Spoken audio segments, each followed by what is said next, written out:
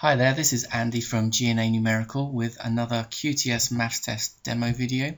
Today we'll look at currency conversions, which causes all kinds of trouble for many, many students, but there's really no need to stress over these types of questions if you follow the method I'm about to show you.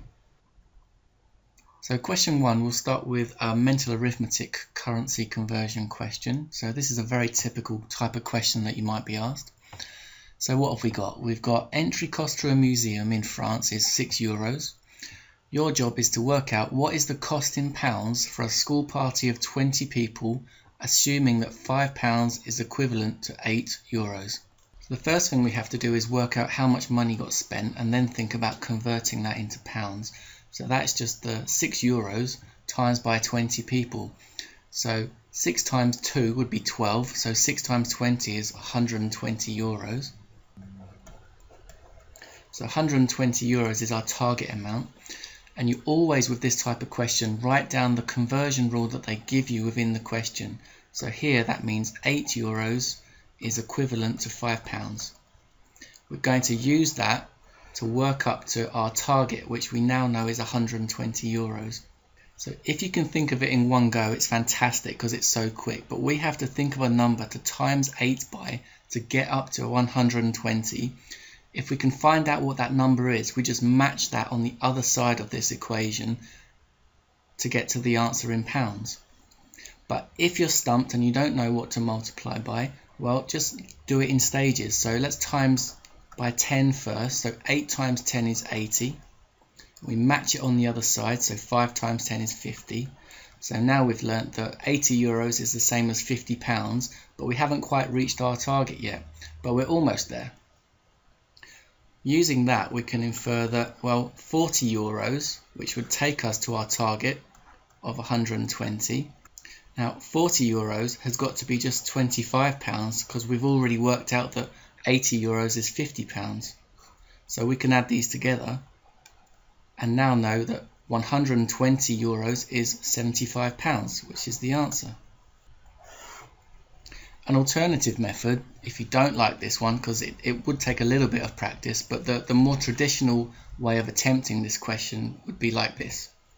So once again, you start with the conversion rule that you're given. That one doesn't change. And then you say, okay, how much, how many pounds is one euro? Well, one euro would be five eighths of a pound.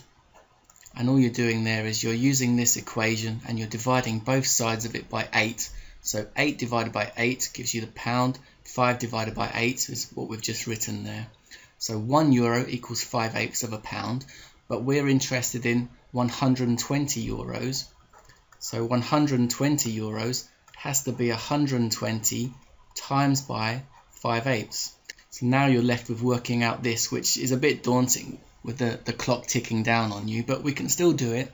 So we have to do 120 divided by 8 which is a bit tricky to do in your head. It's 15. And we times that by what we see on the top of the fraction, which is just 5. So 15 times 5 is 75, which is what we had over here. So I think that the left method is, is easier, but you might prefer this one. So please use the method that you like the best and, and tell me which one works for you. So question two gets a bit tougher now because we're looking at an unusual currency, which they sometimes do just to throw you a little bit. But don't be daunted by it, the same method will get you to the answer.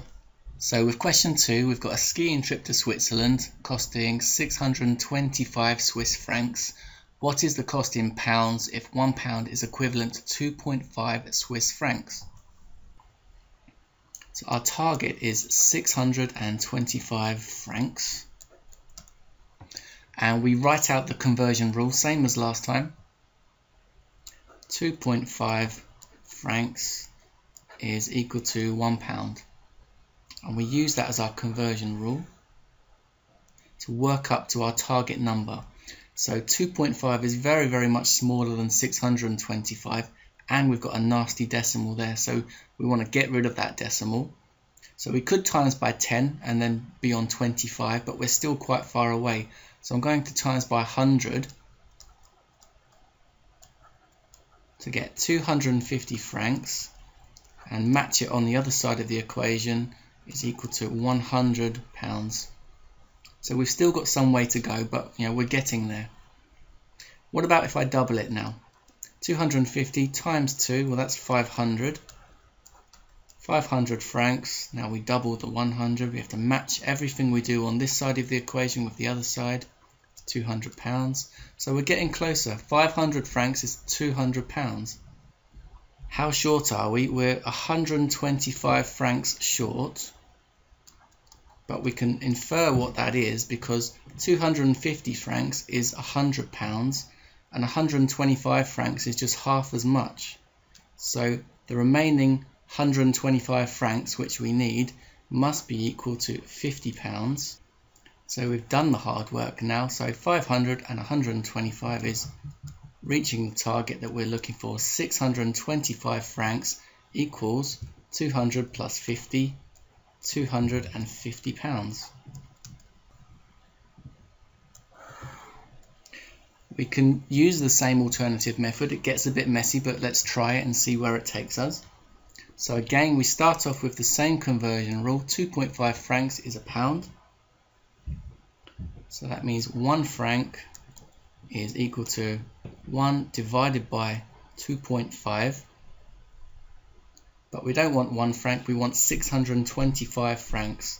So 625 francs is equivalent to 625 times 1 divided by 2.5. So we have to try and do this one in our head, which is a bit nasty. So I suppose I would do 625 times by 1 and then divide by 2.5. It's a bit nasty, but that becomes 625 divided by 2.5. And here I would just make an equivalent fraction to make it a bit easier because this, this decimal business here is, is not good for us. So here I times top and bottom by 2 to get 1250 divided by 5. I still don't like that very much. I'm going to double them again to get 2500 divided by 10 which is a bit easier to deal with. We can just cross off those zeros and there we go. We've got 250 divided by 1 250 pounds which is the same as what we had over here. But hopefully you agree this method is a bit easier. Okay so we've reached question 5 of the general arithmetic currency conversion questions if you're viewing this video on YouTube you will have noticed that we've skipped out a few questions if you want to view those videos, you'll need to subscribe to my QTS Numeracy Essentials course site, which is available on my e-learning site, and I'll put the link to that up at the end of the video. That gives you access to additional practice tests and other demo videos. You can also ask me any maths question you like via the forum area, and I'm usually able to respond within 24 hours or so. Anyway, back to business. Question five, we've got a pupil who takes £250 on a school trip to South Africa. He exchanges £220 at an exchange rate of £1 equals 16.35 Rand. He spends this much Rand and then exchanges the balance of the Rand back into pounds at this rate. Okay, fine. So how much money does he have upon returning home? Okay, probably uh, it's a good idea of these wordy questions to read uh, the last sentence first, so the one with the question mark. So how much money does he have upon returning home? And then read all this stuff because that might make you engage with the question a bit quicker. So as always with these questions, it's going to be key to identify the exchange rate. So the question says 16.35 Rand is equivalent to a pound and he exchanges 220 pounds. So we have to multiply 16.35 times by 220 so let's do that on the calculator seeing as we're allowed to use it. So if I type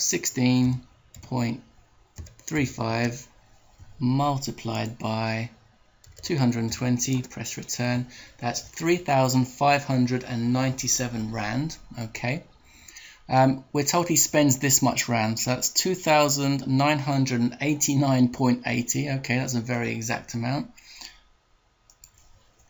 2,989.80.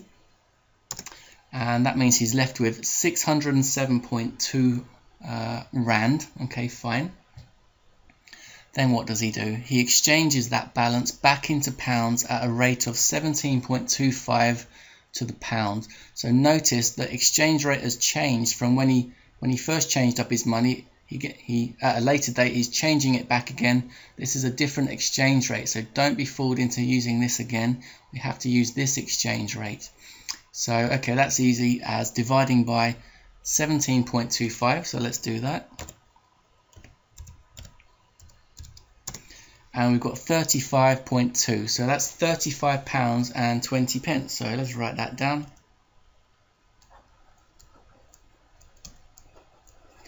But is that the answer we need? It's actually not because there's a bit of a sting in the tail with this question. So notice he takes £250 with him on the school trip, but he doesn't exchange all of it. He only exchanges £220. So he left an extra £30 aside for whatever reason, who knows, personal reasons.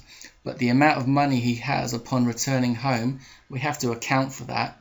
So that's an extra £30. So of course he's got £65 and 20 pence. So that would be the correct answer. So that's all for now. I hope you enjoyed the video.